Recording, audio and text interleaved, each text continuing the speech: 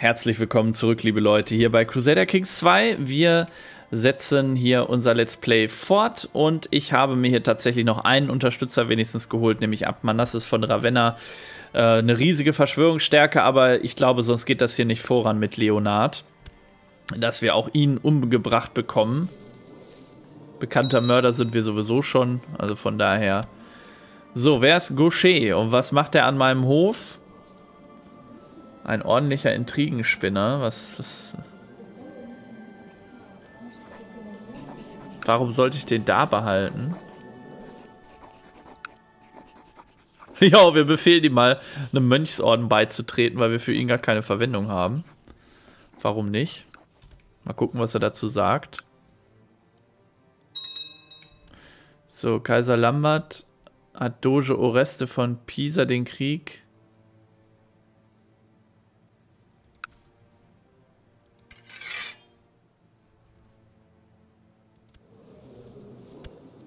Was habe ich denn mit dem Dogen von Pisa zu tun?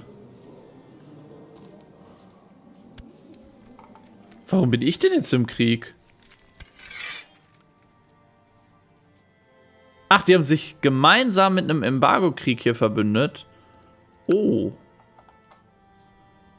Embargo-Krieg, was heißt denn das? Oh, das ist nicht gut. Das ist wirklich überhaupt nicht gut. Wir heben sofort alles aus, was wir haben. Und ich habe die Befürchtung, dass wir sogar alle Vasallen-Dinger ausheben müssen. Ich habe wirklich die Befürchtung, dass das hier eine ganz großflächige Angelegenheit wird. Okay, das war jetzt sinnlos, aber egal. Äh, zusammenlegen. Und dann werden wir Schiffe holen und hier erstmal alles rüber transportieren. Das ist ja eine Frechheit. Erklärt er uns einfach einen Krieg hier.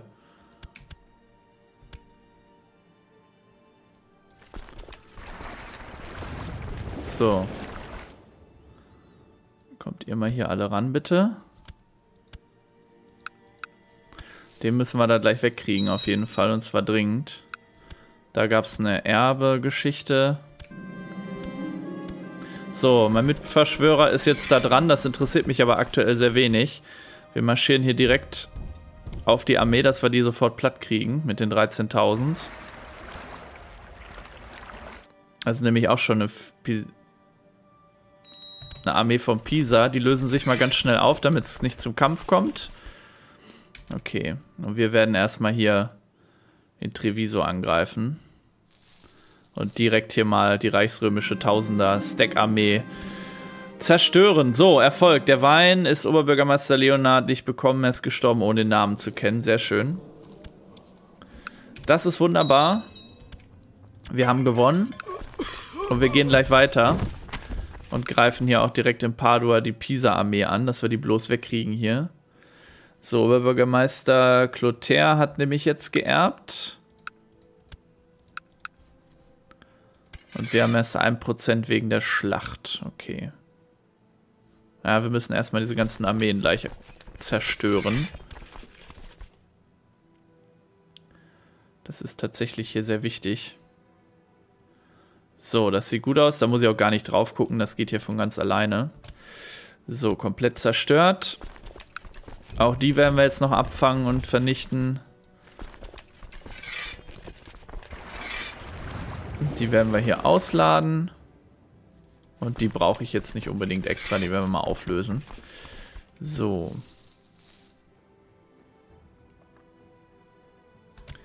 Okay, haben wir auch zerstört. Hier sind nochmal 1500 Mann. Ich glaube, wir werden gleich mal die Armee hier entsprechend halbieren und werden eine Armee fürs Kämpfen nehmen, nämlich diese hier und die andere Armee für Belagerungen. Schicken die schon mal hier hin. Nach Padua. So, Herr Marschall Benoit macht euch einen Vorschlag. Fürst, ich bin der Ansicht, dass Oberbürgermeister Gian Leone einen exzellenten Befehlshaber abgeben würde. Meinetwegen, der ist zwar nicht besonders gut, aber wir nehmen mal alles. So, zwei Kinder haben Bildungsschwerpunkt. Antonia und Alda. Das sind ja die beiden Zwillinge hier. Die eine ist schwachköpfig, die andere ganz okay. Ja, wird Antonia hier die Familientradition der, der fähigen, fähigen Verwalter auf jeden Fall befördert bekommen. Und Alda ja, wird das ebenfalls machen. Gar keine Überlegung hier. Das ist auf jeden Fall wichtig. So, er kann leider rechtzeitig fliehen. Das ist nicht so schön. Dann können wir hiermit auch direkt nach Treviso marschieren. Und nach Aquitania. Ne, Aquilea. Aquitania sage ich schon. So, die Schiffe können wir erstmal auflösen, dass die uns hier nicht auf dem Säckel hängen. Die Fürsten haben zugestimmt. Besitztümer werden belagert. Das hat sich ja gleich dann erledigt. Jawohl, nochmal eine kleine Armee des Kaisers hier zerstört. Sehr schön. Immerhin, schon bei 6% alleine nur durch Schlachten. Aber wir haben natürlich noch nicht die Großschlacht geschlagen. Wir dürfen nicht vergessen...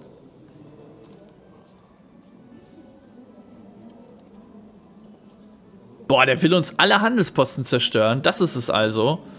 Das ist ja eine Frechheit.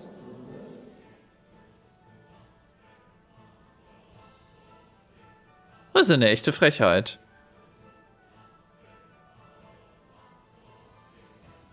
Na warte, euch werde ich bluten lassen hier.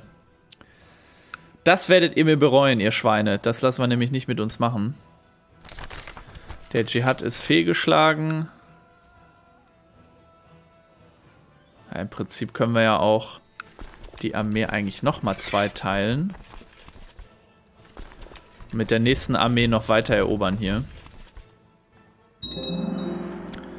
Handelshafen in Venedig wurde fertig gebaut. Sehr schön. Könnten wir auch nochmal weiter ausbauen. Ich will es aber aktuell nicht machen, weil ich das Geld natürlich jetzt im Krieg lieber sparen möchte. Das ist ja logisch. Ja, da kann er ruhig mit 1700 Leuten kommen nach Ferrara. Das ist mir dann auch egal. Schicken wir unsere Leute wieder hier hin und auf geht's. So können wir nämlich hier viel von ihm erobern und ihn hoffentlich dazu zwingen, aufzugeben.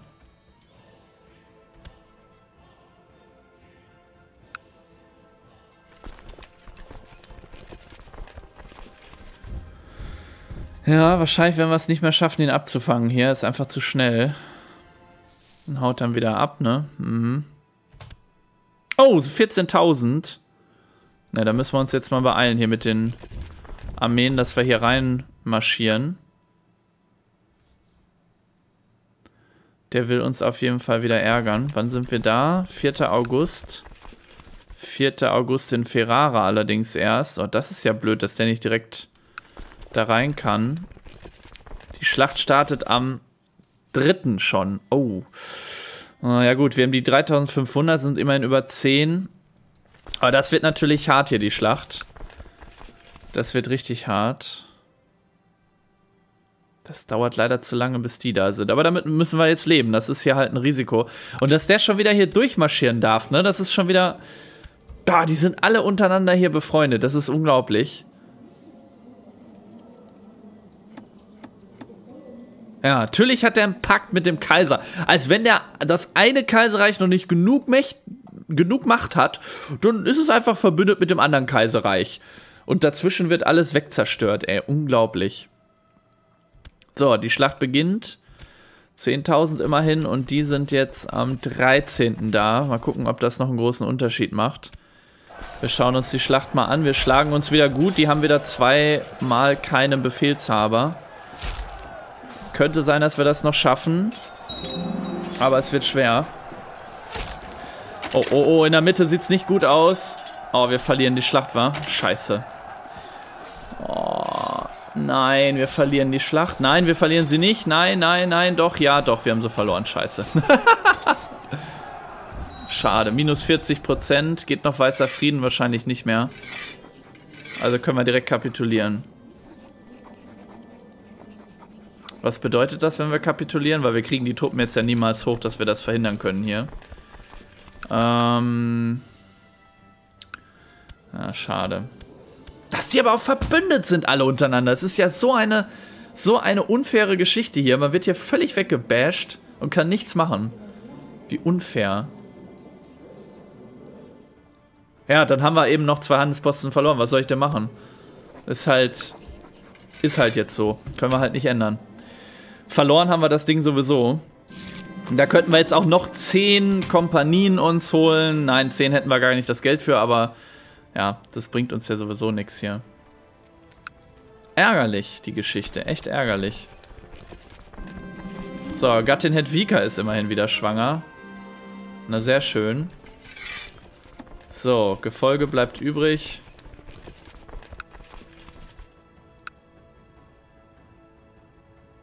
Zwei Schiffe. 22. Dann können wir damit gleich die Truppen abtransportieren, wenn die hier unten im Bari sind. Oh, wie ärgerlich. Vor allen Dingen, das ist doch so unfair. Die sind schon so übermächtig als Kaiserreiche und haben trotzdem noch Bündnisse untereinander. Und das ist sogar erlaubt? Das ist eine Schweinerei, ehrlich. Die können ja... Das ist ja kein Wunder, dass sie so riesig sind. Die sind ja unbezwingbar in dem Spiel. Naja, ja, sie hat keinen Pakt, aber der König von Italien. Der miese Penner, ey. Alter, das ist echt so eine Sauerei. Dabei gibt's hier... Gibt's ja schon Verteidigungspakte.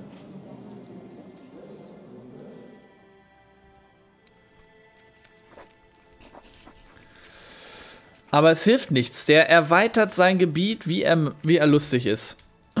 Zerstört nebenbei halt unsere Handelsposten. Super, super ärgerlich. So, wieder eine gefährliche Fraktion. Geht schon wieder los hier. Können wir aber gerade wirklich nicht ändern. Das ist echt ein... Ah, stehen echt an einer, an einer richtig blöden Stelle aktuell. So, ich habe neulich mehr Zeit mit Hedwika verbracht. Ja, Eheglück, Glück, das ist schön. Schwanger ist sie auch nochmal. So, das Bündnis wurden beendet. Gianleone ist nicht mehr Hofspitze. Immerhin, Gianleone ist down. Das sollte uns hier doch ein bisschen helfen. Wobei der hier schon wieder irgendwie einen Handelsposten übernommen hat. von irgendwoher. Keine Ahnung. Wir haben lustigerweise unsere 20 noch. Also wir haben jetzt keinen verloren, wie es aussieht. Aber warum der jetzt nur noch 3 von 4 hat und der 6 von 6, verstehe ich auch nicht so ganz. Hat der vorher auch schon 6 gehabt?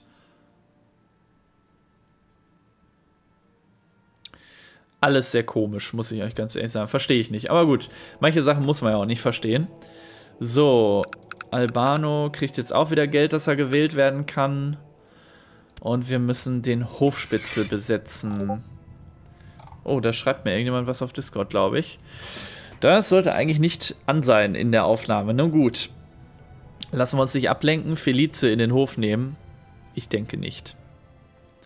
Dann nehmen wir lieber unsere Gattin. Hedwika ist nämlich auch sehr talentiert. Die ist gerade schwanger, aber das kann sie machen.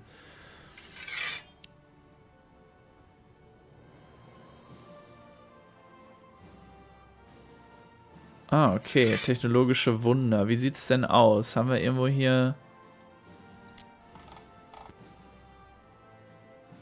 Verteidigungspakt. Äh...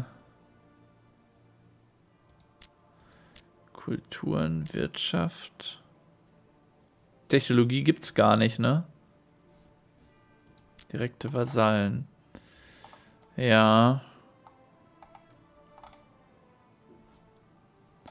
Wie sieht denn das aus? Ähm, Hedwika. Also wir haben hier bei uns in der Hauptstadt, darf ich mal bitte anklicken? Nein, danke. Äh, 18, 16, 15. Was haben die denn hier in Rom? 18, 18, 18. Und hier haben die zum Beispiel 18, 20, 18. Also in, äh, das habe ich mir schon gedacht, dass hier in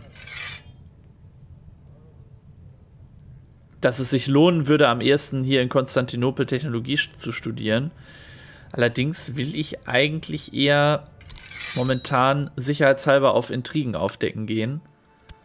Das wäre mir an der Stelle sogar noch ein bisschen wichtiger. So, Befehlshaber. Guglielmo bitte. Sonst haben wir wieder keinen. Jo, sonst haben wir wieder nur, ja, Sinibaldo höchstens noch, können wir auch mitnehmen. So. Mehr ist aktuell leider nicht drin. Nun gut.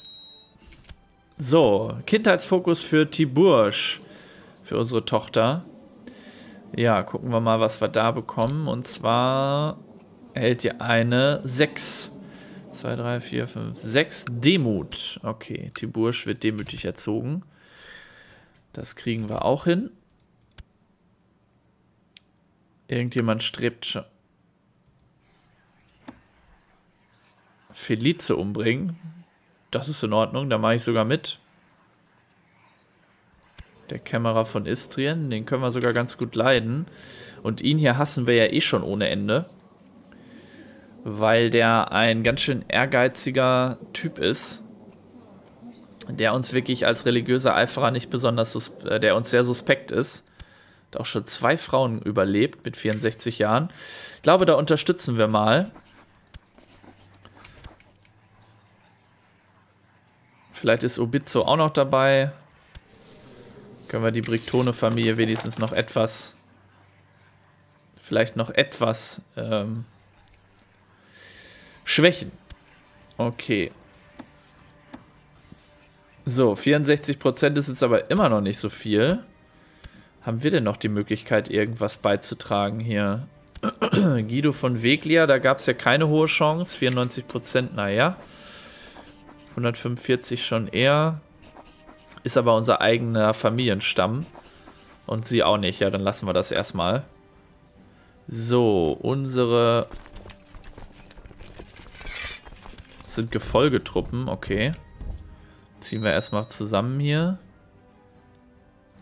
Schon wieder ein Befehlshaber weniger. Das ist auch immer ziemlich random.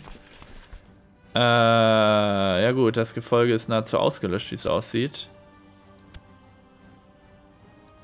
Armee einschiffen. Ach, die ist schon wieder latent zu groß. Ah, schade. Machen wir es so. So, hier bitte ab ins Schiff und dann ab nach Venedig. Da helft ihr mir am meisten.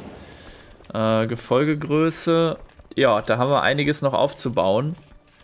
Das dauert, würde ich sagen, aber so richtig. So, Marco, unser offizieller Nachfolger und Alice haben noch einen Sohn mit dem Namen Demetrio. Schon der dritte Sohn hier. Demetrio. Der andere ist Mario, der ist jetzt zehn Jahre alt. Und der zweite Sohn Achill. Der ist vier. Okay. Aber das sieht doch aktuell eigentlich gar nicht so schlecht aus, muss ich sagen. Also die Candianos sind äußerst fruchtbar. So, in letzter Zeit mache ich mir aber Sorgen über meinen Sohn Eve. Das Kind wächst in dem Glauben an einen falschen Gott heran, der Eve außer Illusionen und leeren Versprechen überhaupt nichts bieten kann. Eve, ist Eve vielleicht bereit zum wahren Glauben? Wir können ihm jetzt aus dem Koran vorlesen. Ich würde auch sagen, nein, das Risiko, das ist ja nur entstanden aus einer Laune heraus. Das hat, glaube ich, Doge Valorant nie ernsthaft verfolgt. Das Risiko ist viel zu groß für uns beiden. Das machen wir natürlich nicht. So, aber Eve braucht jetzt einen Fokus. Ja, was? Ach, schwierig. Wir versuchen es tatsächlich mal. Marco ist verstorben, ist er? Bin ich mal gespannt, wen wir jetzt wählen können. Ja, wir haben. Äh ja, er könnte auch intrigant werden. Ich glaube, wir gehen mit ihm mal tatsächlich auf Intrige. Ja, er ist muskulös. Ja, er wäre ein guter Kriegsherr. Ist auch eigenwillig, aber leider auch zaghaft. Das ziemt sich nicht. Ich glaube, er wird tatsächlich versuchen, intrigant zu werden hier, Yves. Ja, wir könnten natürlich auch sagen, Fokusgrundlagen der Verwaltung, aber da er da gar keinen positiven Trade hat, ist es, denke ich mal, für ihn nicht aktuell. So, Marco ist verstorben. Was machen wir jetzt? Wir brauchen, oh Mann, oh Mann, wir brauchen einen Nachfolger. Und jetzt tritt das ein, was so der schlimmste Fall ist. Wir haben einfach niemanden, der den Wert 10 erreicht. Am besten steht momentan noch Raoul da. Aber da wir, ich glaube, da wir Eve so abgöttisch lieben, werden wir trotzdem Eve schon mal als Nachfolger bestimmen. Jetzt haben wir nur das Problem, dass wir keinen männlichen Nachfolger mehr haben. Es kann also sein, dass tatsächlich jetzt ein Briktone nachfolgt und wir nichts machen können. Ja, ähm, weil wir keinen männlichen Nachfolger mehr bestimmen können. Es gibt einfach keinen aktuell. Doch. Ach so, Ugolino wäre noch da. Oh ja, da müssen wir den natürlich nehmen. Sorry, das hatte ich übersehen. Dann natürlich Ugolino. Ugolino wird weiterspielen. Äh, wird weitermachen. Genau. Ja, jetzt haben wir das Spiel endgültig ausgetrickst. so. Da müssen wir auch noch ein bisschen Geld rein investieren, dass das auch passt. Oh Mann, das wird, wird echt hart.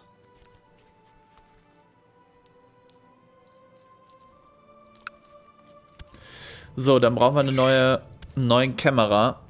Da haben wir tatsächlich noch Clotaire, den Dogen von Apulien. Oder einen zweiten Clotaire, den Oberbürgermeister von Zaklumia. Nehmen wir den, der mag uns auf jeden Fall mehr, beziehungsweise wir ihn. Dann nehmen wir Clotaire. Keine Frage. So. Auch er